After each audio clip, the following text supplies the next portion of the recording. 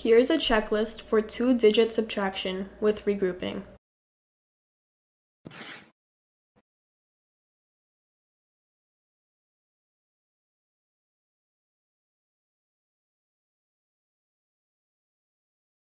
First, I look for the math sign.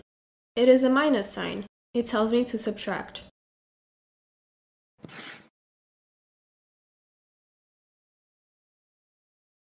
Next, I look at the numbers in the ones place.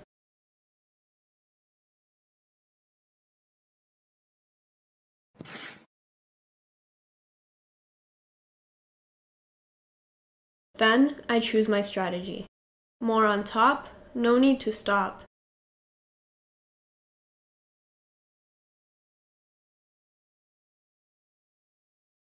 More on the floor, go next door and get 10 more.